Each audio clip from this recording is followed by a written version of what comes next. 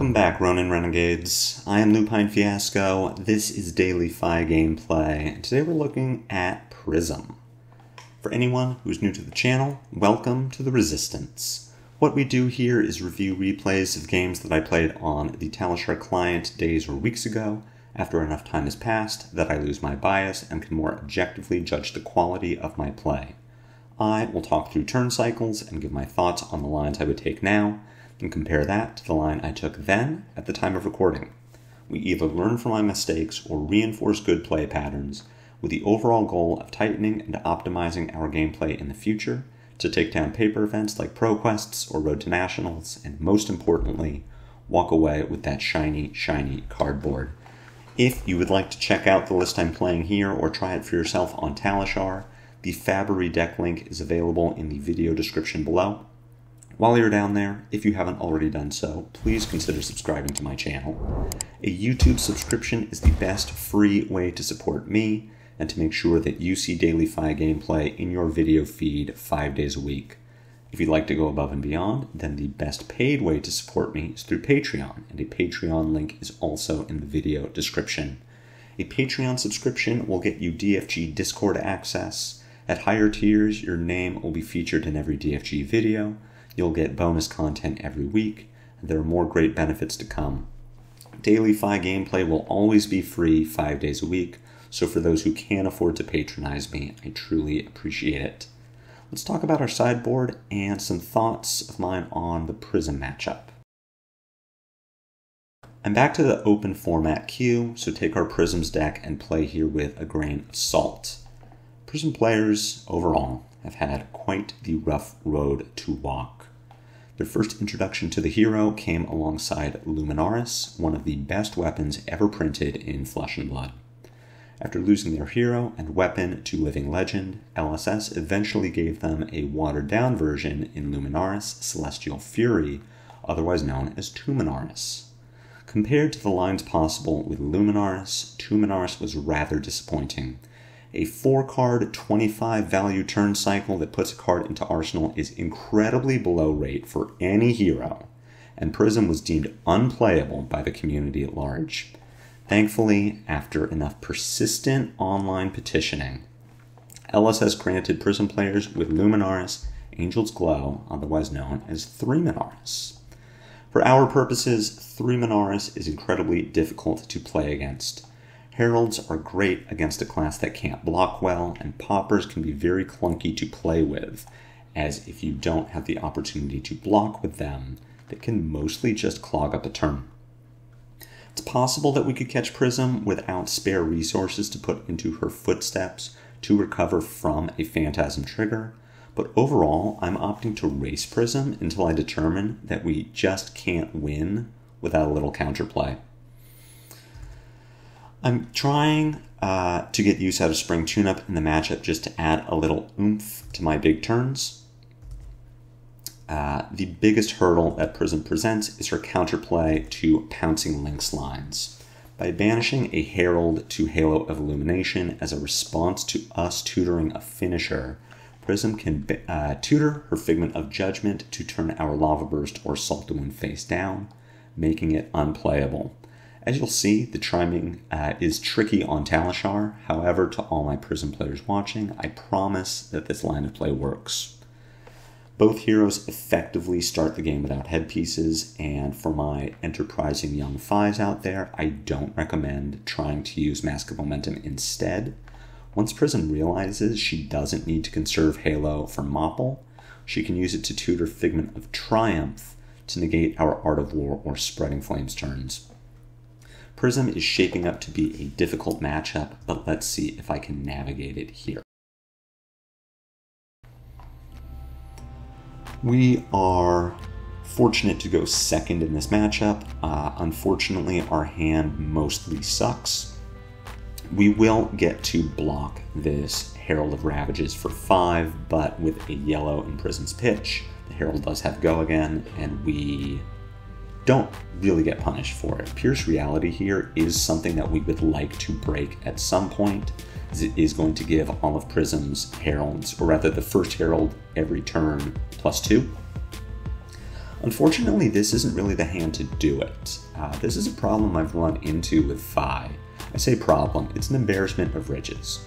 We are getting a Shuko trigger here, and we can put a Phoenix Flame into our arsenal. So how this turn can look is Spreading Flames, Ember Blade, Phoenix Flame, Lava Burst, pick up an arsenal, second Phoenix Flame, which is a great turn cycle, but it leaves Prism with Pierce Reality, as killing an aura with Spectra takes our action point and ends our turn. Go again does not resolve. And I don't want to do that. I want to be putting the pressure on Prism. I don't want to have a Lava Burst sitting in Arsenal when I could otherwise get my Shugo trigger from it by sending it at Prism's face, especially on a Spreading Flames turn. So we are just going to deal a little damage to Prism, get some cards out of her hand. We are not going to use our Pouncing Lynx or our Snapdragon Scalers. We are going to pick up an Arsenal our Phoenix Flame, which means that this Pierce Reality is just going to sit and Prism's turns get better. This Herald Protection now comes in for 9 instead of 7. Now, if it did hit for 7, we still very likely are not blocking it. Um, but we just take 2 extra damage where Otherwise, we might not have had to. Um, Passing Mirage here is another aura that in theory we need to kill, but because we have no poppers in our deck, it does literal nothing. We don't care whether Prism's Heralds lose Phantasm. Now, Prism, of course, doesn't know that. So, there certainly is value to leaving the Passing Mirage. We should not look to clear it just for mind games. Um, but as far as Prism's turn cycles, she might be more incentivized to play it rather than pitch it, thinking that we have poppers that could ruin her turn. Uh, here, again, the turn cycle is just kind of leading itself towards sending damage at Prism's face.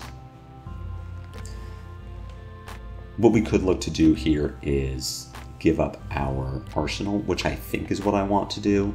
I pick up my Phoenix Flame from discard, I send it at Prism's face, it gets the Shuko trigger, then we send our non-Shuko Phoenix Flame at Pierce Reality. I would have rather had a Phoenix Flame in Arsenal, but I can't leave Pierce Reality there. And I want to talk briefly about that mounting anger play. Had we sequenced differently, had we sent our Phoenix Flame from Arsenal first, the mounting anger gets the Shugo trigger and attacks for 4, which maybe incentivizes some bad blocking from Prism. But if we do that, now the only way we get value from that mounting anger is to pick up and banish our Phoenix Flame from discard. And now we're incentivized to send that at Prism's face for 2. So again, we aren't killing the Pierce Reality, and I really don't want that Pierce Reality generating value which is why we are sequencing in such a way that we aren't getting that value from mounting anger, and Prism still blocks, but our damage that turn was suboptimal. So now Herald of Erudition uh, really punishes us for not running Flamescale Furnace, and this is now where I'm realizing, oh, we need Furnace in this matchup, because a two block Arsenal and three block Heart from Hand covers up this Erudition, and with Angel's Glow giving the Erudition go again, we really can't let Prism draw two cards. Uh, she has Empyrean Rapture, so the figment that this Herald tutors is going to flip into an Angel. The Angel will have go again if it attacks. Prism can pay for that attack with the cards in her hand, and she gets to follow up with another Herald.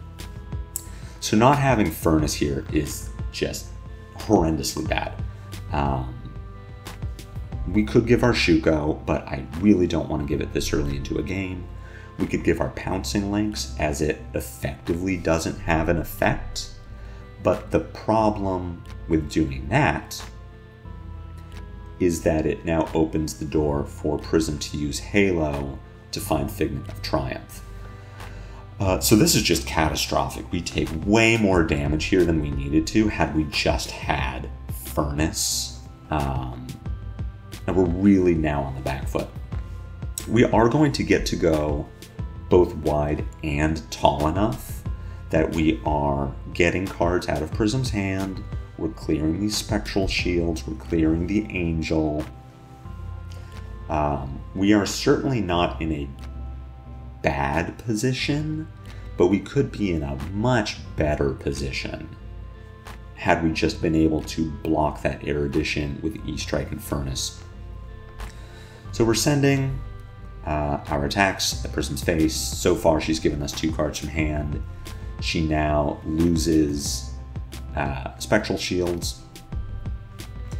We are also going to get to send E-Strike at Prism's face. Uh, choosing to draw a card here correctly, so we are threatening the other Spectral Shields as well as potentially a card from Prism's hand. Uh, the Art of War here, going to the arsenal, is great. We do have our tunic to pay for it on the next turn, depending on what our hand looks like. So, again, we're not in a bad position, but we could be in a much better position. Um, Herald here for six. We're just going to take that damage. Potentially, Prism is looking to flip an angel and attack with that angel. She has the soul to pull it off. Grabbing Figment of Triumph uh, does not have an effect currently, but flipping it into the angel will have an effect. So basically canceling out our Art of War, but that at least brings us up to a normal turn cycle. We will lead with our Ronin Renegade. I'm essentially here looking to open the door for Blaze Headlong. What I want to have happen is for Prism to block for exact damage uh, to put a 3 block in front of Blaze Headlong, which will let me Art of War over the top of that block to snipe this Angel, which is really what I'm looking to do here. I'm not expecting Ronin Renegade to do that because I'm expecting Prism to block it for 3, but she blocks it for 2, so this is even better. We're going to Tunic here, we're going to play our Art of War, and we are going to banish our Mounting Anger on the off chance that we don't draw a blue. We don't want this one cost in our hand. Um, Prism giving up Empyrean Rapture for its ward effect to cover the Angel. But that's totally fine. Prism only has two cards left in her hand. There's no way she can cover all of this damage. We are getting this Angel this turn. We'll lead with the Ember Blade. Uh, it's worth noting that Triumph's effect only works on attack actions, it doesn't cover weapons. So this Ember Blade does come in for three, it eats the Angel, and now we get to play out the rest of our turn. We're maybe looking to pouncing lynx here, but we're looking to do it at the end of the turn. We want Prism to commit more cards from blocks. If Prism gives up her entire hand if she blocks with both of these cards, we're definitely using Mop. As it is, she does have a floating resource to pay for Halo, so Mopple is still looking pretty bad. Um, Blaze Headlong comes in for four. We are going to get to pick up and play our Phoenix Flame. Still, I think Mopple here is off the table. If Prism is going to take that four, it's pretty likely that she understands what's happening and is going to uh, pay for the halo. Now, I think what I'm checking for here is her herald count to see if she maybe doesn't have one in hand. The halo interaction only works if Prism can banish a herald specifically to trigger the hero. If Prism doesn't have a uh, herald in hand, she did, so Mopple there would have been bad. If she doesn't have a Herald in hand, then uh, the interaction doesn't work. Breaking our Snapdragons aggressively there, I think that was probably wrong. Uh, we aren't going to get punished for it with this hand, but with Prism being at 8, if she doesn't want to block, I think we just say, okay, we save our Snapdragons to finish off, uh, fire off a double finisher turn that we draw into naturally or fix a bad hand. I don't think we need to get super aggressive there. Um, here we are just playing out this hand.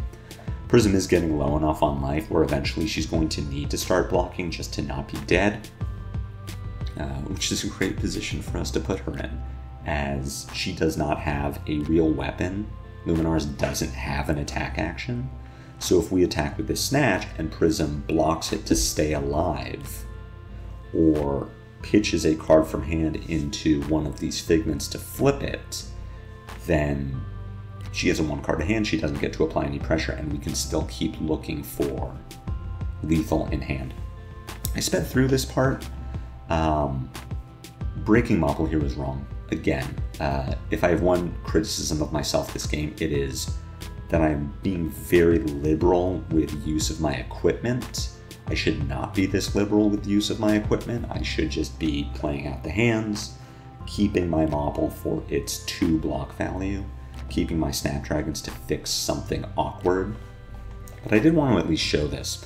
So, Talishar has a setting in the menu that will uh, prompt you at every interaction window, every priority window. You are going to have the option to do something, even if there's nothing in your hand you can do. It's why when you watch my games, I have this resolution step, for example, that I need to click through, even though there's nothing I can do in resolution. So, what this Prism player and I are talking about is in paper and online, if you set it up properly, there is a priority window between when you uh, break pouncing lynx and when your turn uh, comes back to you and you get to actually attack with the finisher. That window is when Prism uses Halo of Illumination. You hit with an attack, your Mopple says, Would you like to use me? You say yes. You go into your deck, you find your Lava Burst. Between where you find your Lava Burst and when you play your Lava Burst, there is a priority window where Prism can use Halo to find Figment of Judgment and flip it face down. Iyslander had the same priority window where she would play Blizzard, which was why you had to be very careful about using Mopple against her. But if you don't set up Talishar properly, it won't give you that priority window and you can't use your Halo. You will only be able to use the Halo if your Fai opponent attacks with something that isn't what they banished because then you will have a priority window in your block step and your reaction step. So as Prism, you will need to go and turn on show all priorities. Always get the priority trigger, otherwise you won't be able to do the halo trick properly. I did want to at least show that so we could, could make a point of, hey, Prisms, turn that on, because otherwise this is not great testing if you can't do the thing that you use Halo for. Um, but I also wanted to show, from my perspective, using Mopple there was really bad. Um, Prism had the resources available. She would have found a figment. She would have drawn a card to replace the Herald she banished to Halo. Um, I keep looking for ways to get value out of Mopple in this matchup, and they really don't exist. You use it as a deterrent to Prism breaking Halo for Figment of Triumph, and you use it for two block at the end of the game. Otherwise, Mopple doesn't exist in this matchup. Now, if you're opposing Prism uses their Halo early to break uh, for Triumph, absolutely, Mopple is 100% back on the table. But while Prism has Halo, Mopple doesn't exist, and while Mopple is on the table, Halo doesn't exist. My biggest takeaway from this game is that we need to be on Flamescale first to block Herald of Erudition. Giving Prism two more cards and potentially a free Angel is catastrophic for surviving the turn cycle and will really put us on the back foot. We saw how much value Prism got from that Erudition, which if it had been blocked, Prism's turn just ends. She has one card in hand and no floating resources. But outside of that, we're trying to play crisp, efficient lines and try to catch Prism without her big heralds to pressure us, which is what we did outside of that erudition turn. I do still feel that running Popperless is correct, but time will tell if that's really the case. I hope you enjoyed this video. I hope you learned something. I hope you enjoyed getting this look at 3 Minaris, as it is very strong, and Heralds are very good against Fai. If you did, be sure to head jab that like button. My comments are always open for any questions or feedback. Uh, if you have not already done so, I would ask you again to please subscribe to my YouTube channel. It's free, it helps me a lot. But whether you do or you don't, I will see you back here tomorrow for more daily Fai gameplay. And until then, take care.